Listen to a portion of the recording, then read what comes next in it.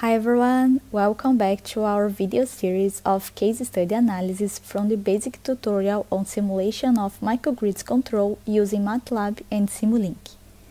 In our last video, we evaluated the simulation of the first case study of a microgrid operating the grid-connected mode.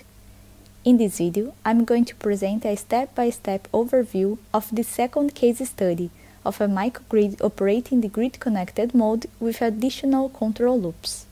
As stated in the first case, in the grid-connected mode, the utility defines the network feeders, as voltage, amplitude, frequency, and phase, that are all followed by the converters controlled as network feeding.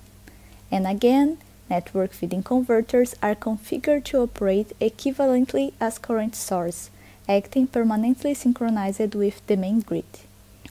While in the first case we control the active and reactive power imported and exported from and to the main grid by specifying their values, in the second case a DC link and an output voltage control are added, and the active and reactive power values are generated from these voltage control approaches.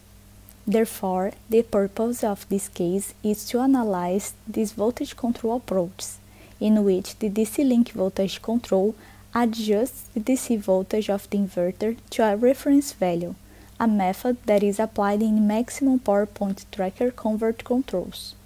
And the output voltage control regulates the AC voltage of the inverter to a defined value. The schematic design for this case on Simulink has one DC controllable current source parallel with a DC link capacitor that replace the previous DC voltage source.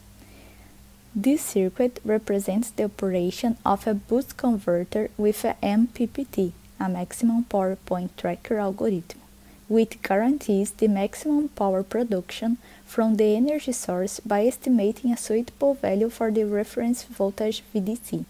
The schematic design also has three-phase half-bridge IGBT switches from S1 to S6 representing a DC to AC converter that is operated by controlling the modulating signal, as well as electrical components including inverter output, inductance and resistance, filter capacitance and damping resistance, and the line inductance and resistance. Besides one local load, measurement units of current and voltage, one AC power grid emulator, and one control subsystem. Now into the control block. They are the alpha-beta subsystem, in which a three-dimensional phasor of the measured current and voltage units are converted into a two-dimensional orthogonal phasor defined as alpha and beta. This conversion is performed using Clarke transform, and it is applied to simplify the analysis and control of the three-phase converter. The power and current control loop in which a modulating signal is generated in respect to the defined reference value for active and reactive power, and in the alpha and beta components of the measured current and voltage values. And finally, the space vector modulation, which transforms the modulating signal given in alpha and beta components to pulses for each of the six switches of the converter. Taking a closer look at the power and current loop, we have additional voltage control approaches here, the DC link and the output voltage controls. In the DC link voltage control loop, an active power value is injected to or absorbed from the network, corresponding to the control signal produced by comparing the measured DC link voltage and a reference value with a PI compensator.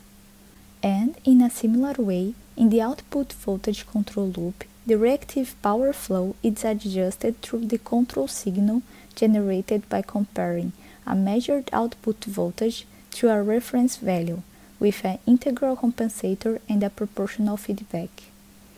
And again, the power and control loops are implemented as detailed in the first case, from the reference values for active and reactive power and based on the converter output voltage and alpha and beta, the power control loop produces a reference current.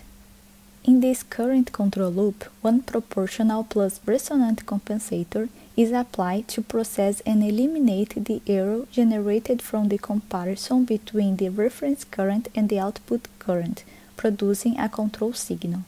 Based on this control signal on a feed-forward term corresponding to the output voltage and on the DC voltage of the converter, the modulating signal to drive the space vector modulation pulse for the converter switch is generated.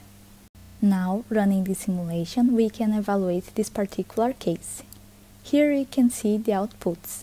First, as in the first case, the modulating signal produces a precise response, with the alpha leading the beta component by 90 degrees.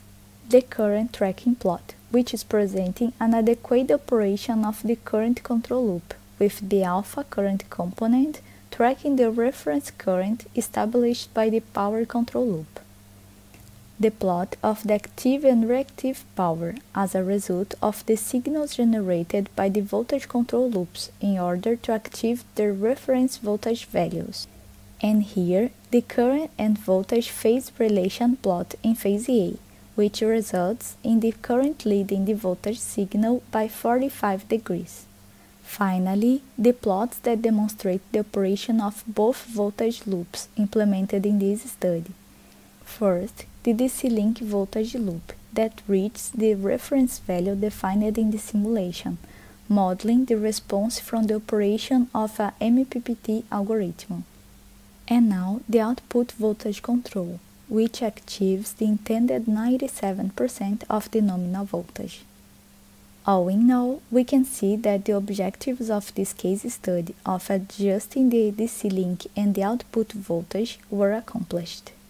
In the next video, I will be covering an island mode simulation with primary droop control, and I look forward to have you all along too.